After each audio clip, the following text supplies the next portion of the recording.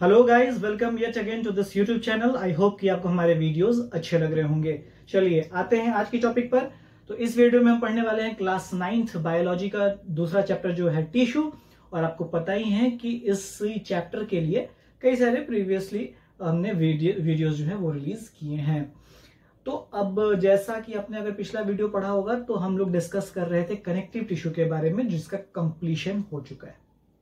अब बारी है तीसरे टाइप ऑफ़ एनिमल टिश्यू को पढ़ने की जो कि है मस्कुलर टिश्यू आपको याद ही होगा कि एनिमल टिश्यू चार टाइप का है epithelial connective muscular and nervous तो इपिथीलियल टिश्यू हमने पढ़ लिया, उसका सारा टाइप वगैरह डिस्कशन हो गया। कनेक्टिव टिश्यू पढ़ लिया, उसका भी सारा डिस्कशन हो गया। अब बारी है मस्कुलर टिश्यू की। मस्कुलर टिश्यू यानी जो मसल्स है हमारे बॉडी के, उनका मेनली जो प्राइमरी फ़ंक्शन है, जो काम है, वो क्या काम है? तो काम ये है कि वो क्या चीज़ में हेल्प करते हैं they help in, they help help करते हैं इन बॉडी मूवमेंट्स हमारे बॉडी के डिफरेंट पार्ट्स जो मूव कर पाते हैं बिकॉज़ उनमें मसल्स अटैच्ड हैं. हमारे बॉडी के मूवमेंट में हेल्प करता है. यही इसका सबसे मेन काम है.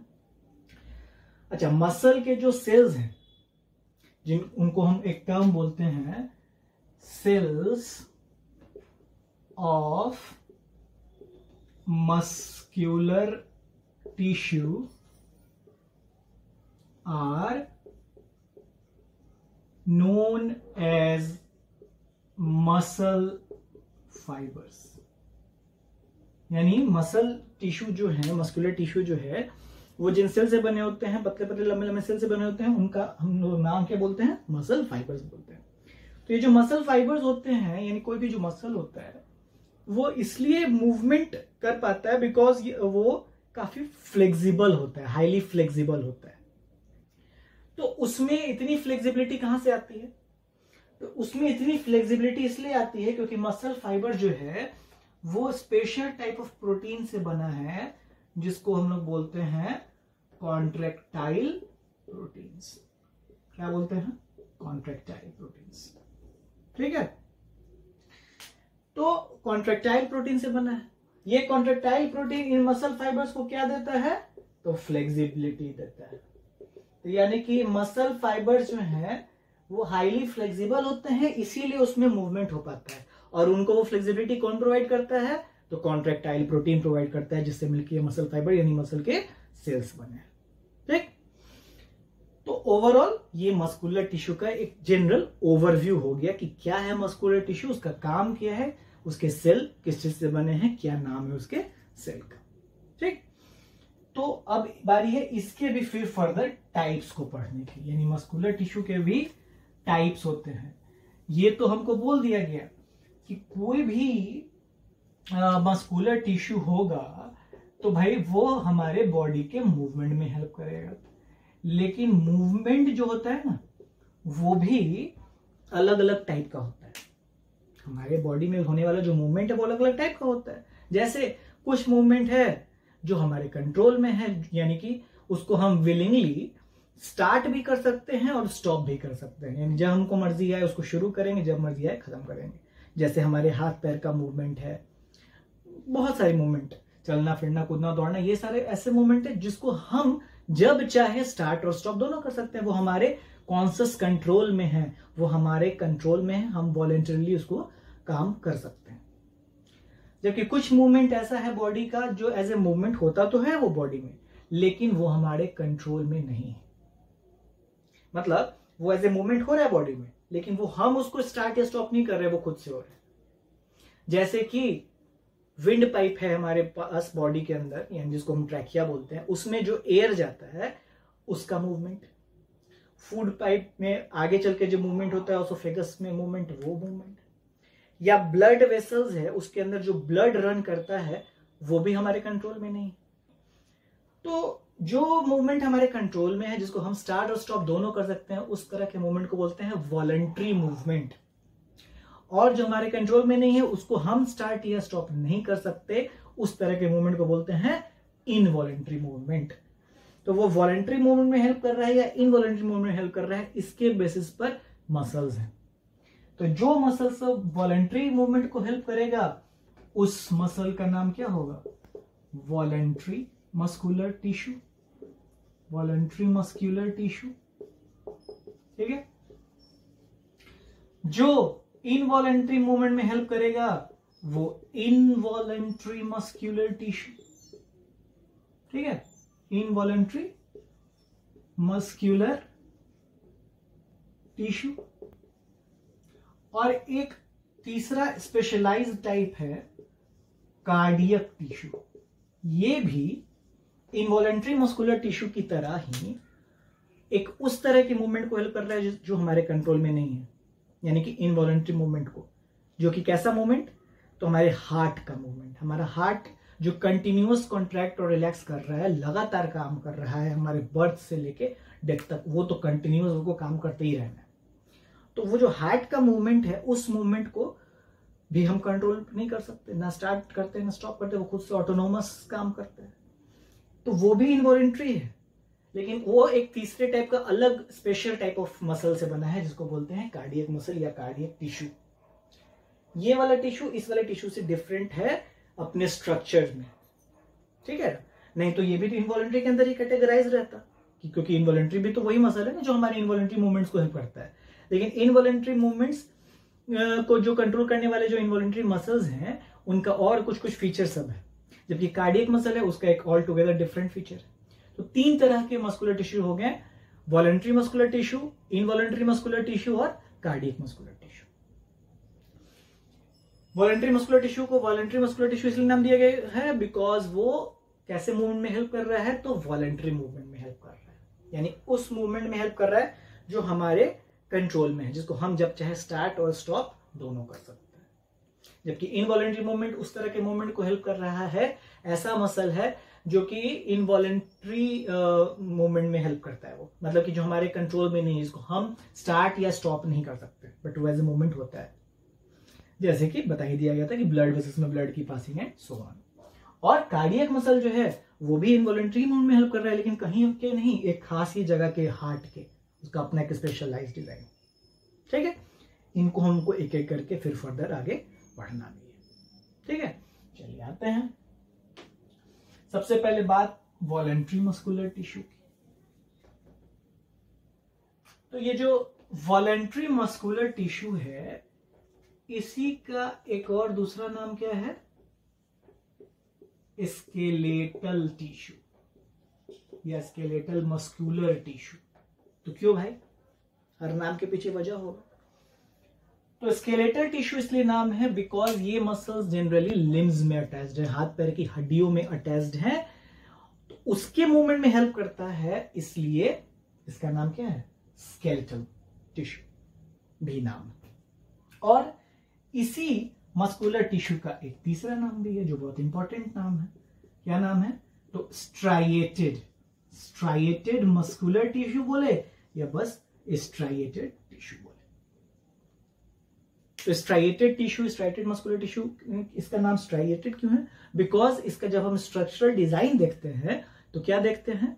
कि इसमें alternate pattern of light and dark bands हैं। यानी कि उस पैटर्न को बोलते हैं स्ट्राइएशंस चूँकि इसमें स्ट्राइएशंस है, इसलिए इसका नाम है स्ट्राइएटेड मस्कुलर टिश्यू स्ट्राइएशंस मतलब क्या? एक खास तरह का पैटर्न कैसा पैटर्न तो ऐसा पैटर्न ऐसा पैटर्न मतलब क्या है इस पैटर्न में? तो इस पैटर्न में ये है कि ये डार्क रीजन फिर लाइट रीजन फिर डार्क रीजन फिर लाइट रीजन फिर आपको डार्क रीजन तो light light dark light dark light dark का ऐसा अल्टरनेट पैटर्न को बोलते हैं स्ट्राइएशंस ऐसे स्ट्राइएशंस हैं, इनके स्ट्रक्चरल डिज़ाइन में देखने को मिलता है, इसलिए इसको बोलते हैं स्ट्राइटेड मस्कुलर टिश्यू या स्ट्राइटेड टिश्यू दिख ही रहा है स्ट्रक्चर में कि कैसा है? सिलिंड्रिकल है। और एक और खास बात है, बहुत यूनिक बात है कि इनमें बहुत सारे न्यूक्लियाई होते हैं, यानी कि ये कैसे हैं? मल्टी न्यूक्लिएटेड हैं। ये भी इनका एक इंपॉर्टेंट फीचर है। लेकिन अनब्रांच्ड है। कोई ब्रांचिंग नहीं है ना इसके स्ट्रक्चर में। तो unbranched cylindrical and with striation alternate pattern of light and dark bands तो स्ट्राइएशन से इसलिए इसका नाम हो गया स्ट्राइटेड टिश्यू लिम्स से अटैच्ड है, हड्डियों से अटैच्ड है, इसलिए स्केलेटल टिश्यू हमारे कंट्रोल वाला मूवमेंट को हेल्प करता है वॉलेंट्री मूवमेंट कराता है, इसलिए इसका नाम वॉलेंट्री मस्कुलर टिश्यू भी होगा ठीक है? ये रहा वॉलेंट्री मस्कुलर टिश्यू के बारे में। अब आते हैं नंबर टू तो नंबर टू जो है, यानी कि हमारा इनवॉलेंट्री मस्कुलर टिश्यू जो है या इनवॉलेंट्री टिश्यू जो है, इसका इनवॉलेंट्री नाम इसलिए क्योंकि वो इनवॉलेंट्री मूवमेंट में हेल्प करता है, यानी उस मूवमेंट में हेल्प करता है जो हमारे कंट्रोल में नहीं है, जिसको हम स्टार्ट या स्टॉप नहीं करते हैं, बट वो एज ए मूवमेंट बॉडी में होता है। एग्जाम्पल्स बता ही दिया गया है। और इसी का एक और नाम क्या है? Smooth muscular tissue smooth muscular tissue because इसमें कोई राइबोसोमल अटैचमेंट नहीं है, दानेदार स्ट्रक्चर नहीं है, बिल्कुल चिकना सरफेस इसलिए इसका नाम हो गया स्मूथ मस्कुलर टिश्यू और इसी का एक तीसरा नाम क्या है? तो अनस्ट्राइटेड अनस्ट्राइटेड मस्कुलर टिश्यू या अनस्ट्राइटेड टिश्यू क्यों? कि इसमें स्ट्राइटेड टिश्यू की तरह ऐसा कोई alternate light and dark band of pattern नहीं है. वैसा कोई स्ट्राइएशन है ही नहीं. तो नहीं है स्ट्राइएशन इसलिए अनस्ट्राइटेड बिल्कुल चिकना है दिखने में, इसलिए स्मूथ इनवॉलेंट्री मूवमेंट में हेल्प कर रहा है, इसलिए इनवॉलेंट्री हर नाम के पीछे वजह है कि क्यों नाम है तो ये बहुत जगह है, जैसे क्योसोफेगस में, है ना? तो यानी कि फ़ूड पाइप में या विंड पाइप ट्रैकिया में तो ऐसा ऐसा जगह का मूवमेंट जो हमारे कंट्रोल में नहीं है बट वो एज ए मूवमेंट होता है बॉडी में तो बिकॉज़ ऑफ़ इन्वॉल्ट्री मसल होता है। ये जो है इसमें कोई वैसा स्ट्राइशंस नहीं है स्ट्राइटेड मस्कुलर टिश्यू की तरह। और ये टैपर्ड एंड होते हैं और इनका शेप कैसा है? तो ये स्पिंडल शेप है। स्पिंडल शेप इसके जो सेल्स है वो कैसा है? स्पिंडल शेप है। इस तरीके के लेकिन वो जो हमारा स्ट्राइटेड टिश्यू था, वो कैसा था? सिलेंड्रिकल था। ठीक? अब आते हैं हमारे तीसरे और आखिरी टाइप ऑफ़ मस्कुलर टिश्यू पे, जो कि कौन है? कार्डियक मस्कुलर टिश्यू या फिर जस्ट कार्डियक टिश्यू तो कार्डियक टिश्यू हमारे किस पार्ट को बनाए हुए हैं? हार्ट को। हार्ट हार्ट जिस स्पेशल टाइप ऑफ़ मसल से बना है, वो है कार्डियक मसल पेरिकार्डियम बोलते हैं उसको। और हार्ट का काम हमको पता ही है। वो भी इनवॉलेंट्री मूवमेंट करता है। कैसा मूवमेंट क्या मूवमेंट कि कंटिन्यूअस ब्लड पंप करता है। वो कंटिन्यूअस जो है कॉन्स्ट्रिक्ट करता है रिलैक्स करता है। कॉन्स्ट्रिक्ट करता है रिलैक्स करता है। तो ये उसका कंटिन्यूअस मूवमेंट चलते ही रहता है। लेकिन वो हमारे कंट्रोल में नहीं है ना। ऐसा नहीं ना कि हम इंस्ट्रक्शन देते कि भाई चलो, तुम जो है ना, अभी काम करना स्टार्ट करो, अभी काम करना बंद कर दो। नहीं है ना? लेकिन हमारा हाथ पैर का मूवमेंट तो हमारे कंट्रोल में हम जब चाहे स्टार्ट स्टॉप कर सकते हैं। तो ये भी इनवॉलेंट्री है। लेकिन ये उस इनवॉलेंट्री मसल से डिफरेंट क्योंकि इसका स्ट्रक्चर डिफरेंट है स्ट्रक्चर वाइज ये थोड़ा थोड़ा स्ट्राइटेड मस्कुलर टिश्यू की तरह, क्योंकि इसमें भी कुछ हद तक स्ट्राइएशन मिलते हैं। वैसा एकदम प्रोमिनेंट स्ट्राइशन नहीं, लेकिन कुछ हद तक स्ट्राइशन इसमें भी है, लेकिन ये यूनि न्यूक्लिएटेड और जो स्ट्राइटेड मस्कुलर टिश्यू था वो मल्टी न्यूक्लिएटेड है, हमने पढ़ा है। दूसरी बात, वो अनब्रांच्ड था, लेकिन ये कैसा है? तो ब्रांच जो होता है। एनसीआरटी बुक में आप इसका डायग्राम भी देखेंगे तो ब्रांच्ड है। ठीक? तो तीनों ही तरह के जो मस्कुलर टिश्यू है, उसका अपना अपना स्ट्रक्चरल डिज़ाइन है अपना अपना काम है। लेकिन ओवरऑल कोई भी अगर मसल है मस्कुलर टिश्यू है तो काम क्या है? तो मूवमेंट में हेल्प करना। अब कैसा मूवमेंट उसी के बेसिस पर ये टाइप्स प्रिस्क्राइब किए गए और मूवमेंट इसलिए पॉसिबल हो पाता है बिकॉज़ इसके सेल्स जो है वो हाईली फ्लेक्सिबल हैं।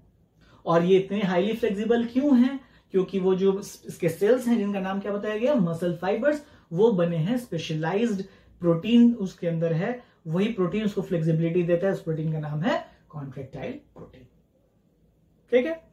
तो यही ओवरऑल बात थी मस्कुलर टिश्यू की। आई होप कि आपको ये वीडियो समझ में आया होगा। तो इसको एक बार फिर से आप स्टार्टिंग से एंड तक बिना स्किप किए हुए देखिएगा, सारी बातें क्लियर हो जाएँगी, कोई खास ऐसा बहुत कॉम्प्लेक्स चीज़ नहीं घर पर रहिए, सुरक्षित रहिए, पढ़ते रहिए। धन्यवाद।